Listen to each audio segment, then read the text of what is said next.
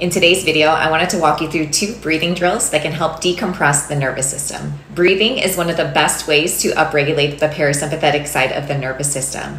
The parasympathetic side of the nervous system is often referred to as our rest and digest part of the brain.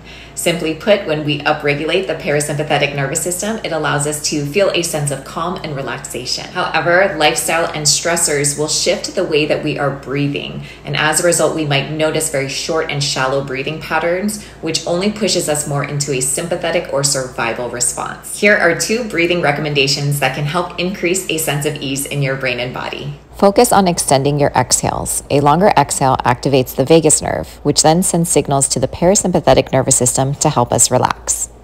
Try inhaling for a count of three seconds, then extending your exhale for a count of six seconds.